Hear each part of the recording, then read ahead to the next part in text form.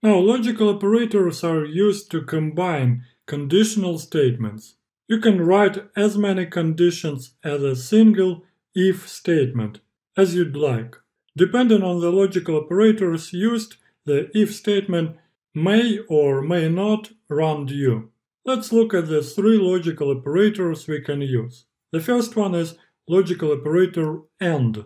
The AND logical operator is to, to ensure that when you check multiple conditions, both sides of the condition are true.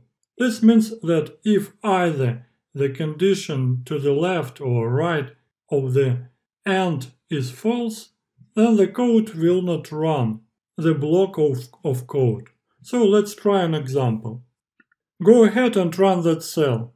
The output will result in both statements were true, because x is less than y and the same value as z. Please know that you can have as many conditions in one line as you'd like. The next operator is OR operator. The OR logical operator is used to check for one or both conditions to be true, such that if the condition to the left is false and the condition to the right is true. The block of code will still run because at least one condition was true. The only time an if block will not run using an OR operator is when both conditions are false. So let's check out an example. Go ahead and run that cell and notice that we get an output of one or both statements were true.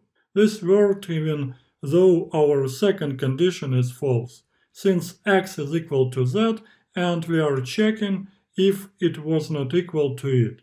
However, since the condition on the left is true, it runs. The next logical operator is not. In certain instances, you'll want to check for the opposite of a value. The not operator is used for just that. It essentially returns the opposite of whatever the current value is. So let's try it out. If you run that cell, you'll notice that the result output is flag is false.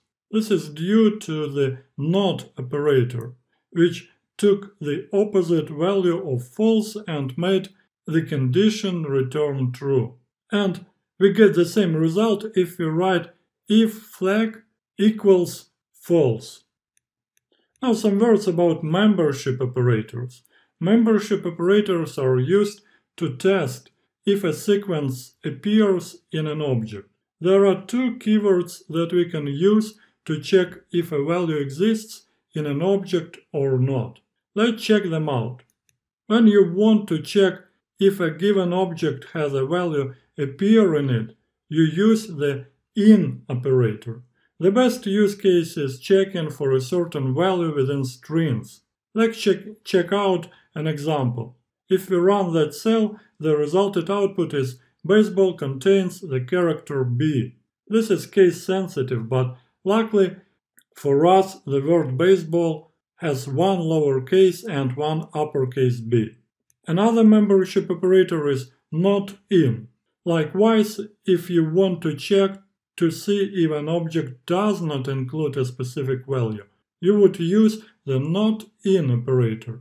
This is essentially just checking the opposite of the in operator. Let's see.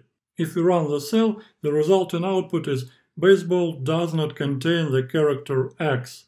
It simply checks to see if the character x is not included in the string value of our word variable.